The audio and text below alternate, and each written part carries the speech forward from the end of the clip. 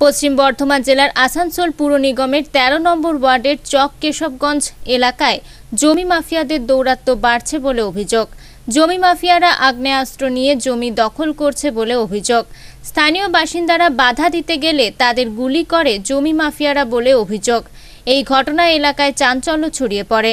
এলাকাবাসীরা জানান, এই জমি দেবত্ব, তাই জমি মাফিয়ারা জমি দখল করতে এলে তাদের ঘিরে ধরলে তারা গুলি করে বলে অভিযোগ।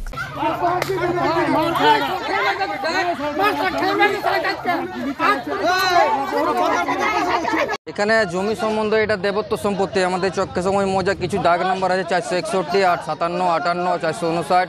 এগুলো দাগ নম্বরগুলো দেবত্ব সম্পত্তি। কিন্তু কিছু জমি মাফিয়া আছে টাকা দিয়ে বিএলআরতে নিজের নামে চাপিয়ে এখন বলছে আমাদের জায়গা।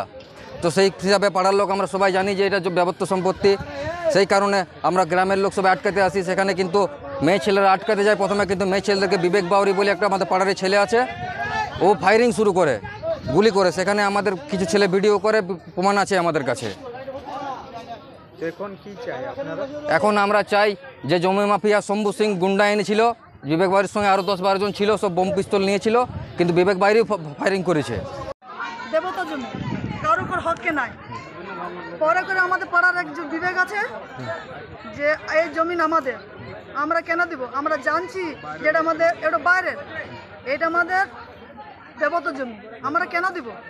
আজ আজ তিন, চার সপ্তাহ আগে এই কাজ বন্ধ হয়ে গেছে। সেইটা ছেলেগুলো আমাদের কাজে চলে গেছে। ও দেখছে না, কাজ শুরু করে দিচ্ছে কাজ কাজ শুরু করে দেওয়ার পর আমাদেরকে ফোন করল যে, কাজটা বন্ধ করো। আমরা বন্ধ করতে এসেছি। আমরা বন্ধ করার মাঠ থেকে ও গুলি ফাইন করল। মনে করছি আর ভয় খেয়ে যাবে। তো কেন ভয় করব? আমি বললাম, চালা, গুলি চালা।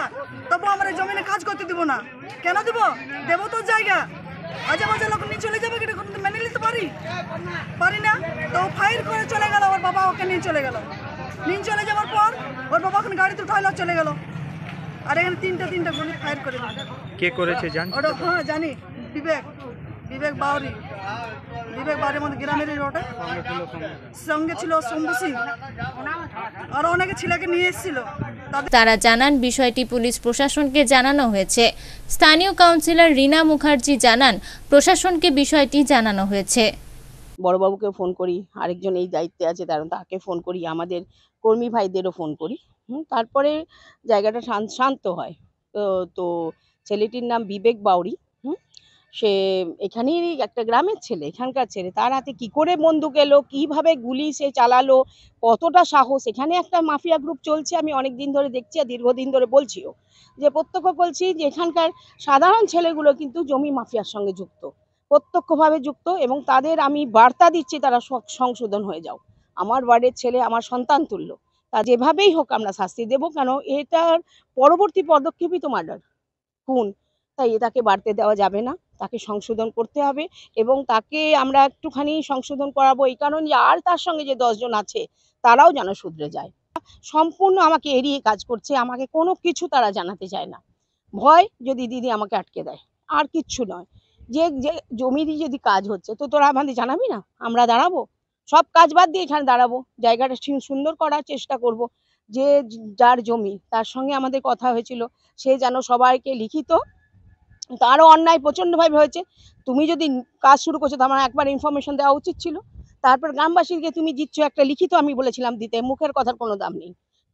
আপনি যদি কাজ করতে চান, আপনি লিখিতভাবে দিন। গ্রামবাসীদের আপনি বলেছেন যে, জমির কাগজ করে দেবেন প্রত্যেককে। ঠিক আছে? তারপরে আপনি জমিটা নিয়ে যা করছে কোনো ওদের প্রত্যেকের ঘরের মাথার ছাদ করে দিন। এটা ওনার শর্ত ছিল। কই উনি কোনো ইনফরমেশন ছাড়াই কাজ শুরু করে দিলেন। এখনও পর্যন্ত প্রশাসন কি ব্যবস্থা নিয়েছে?